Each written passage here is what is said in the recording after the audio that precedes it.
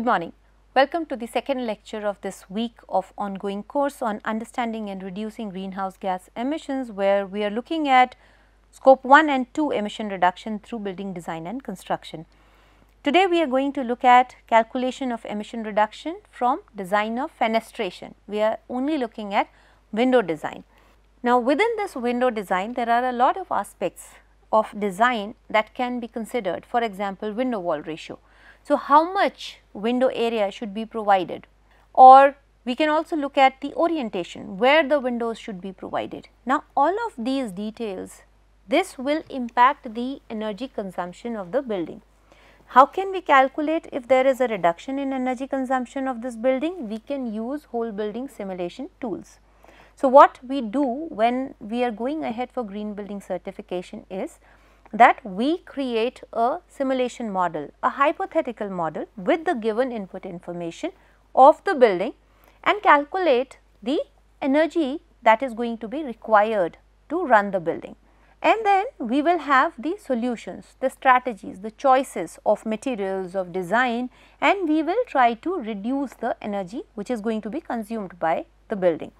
Now that is detailed process, it is a comprehensive process, it requires a lot of data, it requires a lot of uh, resources, manpower and time to calculate exactly how much of energy savings can, can be achieved. But that is an accurate method. However, when we are doing some of these calculations as initial testing of the idea, we might not be having the time enough time to go for whole building simulation which is a separate uh, complete exercise in itself. We are not going to cover that as part of this course. However, if we have to make the initial choices and we have to know initially approximate numbers about how much savings can be can be achieved as far as carbon emissions are concerned through differences in the choice of material or choice of design this is what will matter. These are the parameters that are going to matter. So what will matter? The first is the u value. So what is a u value? It is the overall transmittance of heat from one side to the other side. And it will vary with different materials. So, for example, if we have, so in fenestration we have overall u value of the window which is dependent upon glass, whatever glass is going to be used and the frame that will give us the overall u value of the window system. Now, if you look at ordinary single glass which is the single clear glass or any other glass reflective glass, but not low E not low emissivity glass, it will have a U value of 5.88 approximately 6. This is watts per meter square degree Kelvin the unit for U value. So, the ordinary glass will have approximately 6 as U value while if we look at a double glazing with a low E coating on one of the glasses and filled the cavity between the two glasses filled with argon or any other heavier air argon or xenon, it will have a u value of approximately 1.8. So, we have reduced the u value from 1.6, so from 6.0 to 1.8 that is almost one quarter of the value that we were getting here as the highest one. So, this is one of the properties the u value determines how much heat is going to be transferred from through this material. So, the moment we say that we have reduced the u value, it implies that less amount of heat is going to be transferred through this material which has a lower u value. When we say less amount of heat is going to be transferred, I am not talking about the direction from hotter side to the colder side. Now, that hotter side in warm climates could be outdoors in extremely cold climates, cold climates it could be the indoors which are warmer. So, the direction of heat exchange will change, but the amount of heat that is going to be transmitted through this material, this uh, window material is going to be less than this ordinary single glazing. That is what we have to understand. This is one property. The other property that we have is SHGC, solar heat gain coefficient. What is this property? I think we have discussed it earlier, but I am repeating it here. is suppose 100 percent of solar radiation is incident on this glass, how much what percentage of this is going to be directly transmitted inside is the solar heat gain coefficient. So, if it is 1 and inside it is only 50 percent going to be transmitted then the solar heat gain coefficient is 0.5. This is why is it important because glass is a transparent material and unlike wall or roof which are opaque there is also going to be some component which is directly going to be radiated. There is direct radiation that is passing through the material. It is not blocking the radiation 100 percent. So, SHGC becomes very very important. Now, how is it going to affect the energy calculation? So, what will happen when we are doing the energy calculation? Assume that there is a building for uh, example, I am sitting in Roorkee right now. This is a composite climate for India. So, we have extreme summers, very hot summers and we also have very cold winters. Now, I have a building which is having windows on all the four sides. So, it is a uniformly distributed window wall ratio on all the four sides. So, this is what I have as a building 4 windows on all the uh, 4 sides. Now, the sun assuming that north is up, the sun is going to move like this for most part of the year from east to west through south.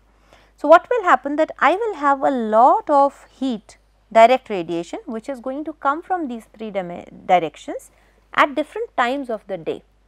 When the sun is in south and west, the temperature outdoor, the outdoor temperature is going to be at its peak plus there is go also going to be radiation. When the sun is in the east, the temperature, the outside temperature is going to be low and there will be solar heat gain there will be direct radiation. The radiation is equally intense, it is the temperature which is changing, the outdoor air temperature. So, the two components is what we are talking about. Now, I have to select a glass. There is a glass of 6 u value and there is a glass of say 1.5 u value. I select and I replace all my windows. Initially, I was having a u value of 6 for all my windows and then I decided that I am going to replace all my windows with double glazed Loewe windows which are having a u value of 1.5. If you remember the formula, this is u value we are talking about. So, the heat gain is equal to u into A into delta T. u is the u value, A is the area and delta T is the difference of temperature between outside to inside, the two surfaces, the two sides of this material. Now, what all remains constant here? What do we have? We have the area which remains the same. We have delta T the temperature which remains the same in case we have the set point as the same. Assuming the same set point, what are we changing? We are changing the u value. So, what happens if I reduce my u value by 1 fourth? So, originally I had 6 and then I take 1.5 which is 1 fourth directly my heat exchange is going to reduce by the same proportion. The u value is 6 q and rest remains say constant a into delta t. So, 6 times t this is q 1 and q 2 is equal to c into 1.5. So, q 2 is equal to q 1 by 4 1 fourth of the original value. Now, this is the heat exchange. What happens to this? heat, we have to extract this heat using say HVAC system. So, the moment I say that I have lesser work to do, this is in watts, this is what we are calculating in watts and for say per hour if we are calculating. So, I have this as watt hour or kilowatt hour whatever that uh, unit we are using. So, this is the direct amount of energy that is going to be reduced when I air condition my space. So, the moment I say how much carbon would be saved, it is the same amount of carbon that would be saved. So, 3 by 4 of Q 1 is what I am getting as savings, the electricity savings. And just as we had the conversion, the uh, coefficients of conversion for calculating carbon emissions, we can directly calculate how much of the carbon emissions are going to saved if we are talking about changing the u values of this glass. Now, this was about u value, but we have to remember here we are talking about scope 1 and scope 2. The moment we say that I am going to use a double glazed window, which means that instead of one sheet of glass, I am going to use two sheets of glass, which means the embodied energy has directly doubled. So, if I look at the overall, if I look at scope 3 emissions also, which is not the scope here for us in this course, but if we are considering scope 3 also, then double glazed will have an impact, will have higher scope 3, while if the aim is only to reduce scope 2, then the double glazed with a low E will work better than a single glaze. If we are looking in totality scope 1, 2 and 3, then we will have to make a choice. As far as scope 2 is concerned, it is clear. The next is SHGC the other property is SHGC. Now, what uh, how we influence SHGC is we have to reduce the heat from transferring the radiation from transferring through this transparent material. So, what we can do? We can add a film, we can give a tint to the glass so that the amount of heat, the overall radiation, not heat, it is heat plus light, the overall radiation that is directly transmitted through the glass is reduced. So, we have a lot of films which can cut that down, but the moment we say it is cutting down the radiation, it is cutting both heat as well as light that we have to keep in mind. But imagine a scenario where there is no direct radiation coming onto the window and how can it be? Suppose I have a window on a wall this is the window we are assuming. Now, there is direct solar radiation which is going to be falling onto this. What if I have a chhaja, I have an overhang which cuts the solar radiation significantly.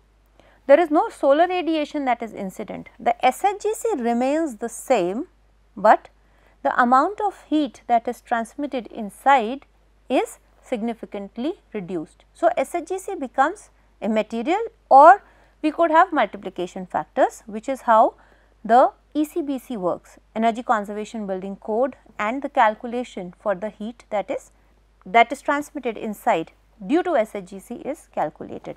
Again we will calculate the amount of heat that is reduced, but in clear understanding we have to know how and where these shading devices should be provided of course along with the selection of material. So, this was about calculating emission reduction through fenestration. We have to clearly know the U value and SHGC values for the material that is going to be selected along with other design parameters like window wall ratio and the distribution. I will stop here today. See you in the next lecture tomorrow. Thank you. Bye-bye.